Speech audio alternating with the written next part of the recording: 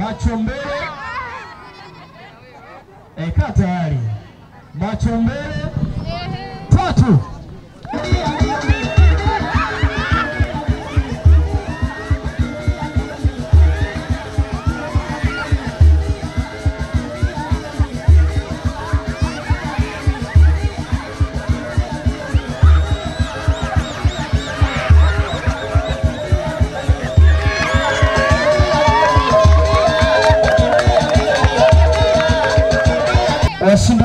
Ukwe wa kwanza na wa pili, au kuna zawadi ya mshindi wa tatu?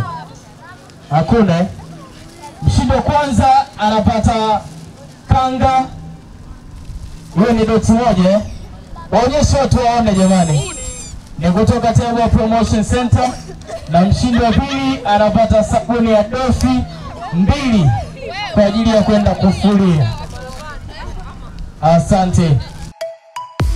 Subscribe kwa kubonyeza kitufe chekundu chini ya video hii na kisha bonyeza alama ya kengele ili uwe wa kwanza kupata kila kinachotokea muda wowote hapa hapa Mashujaa TV.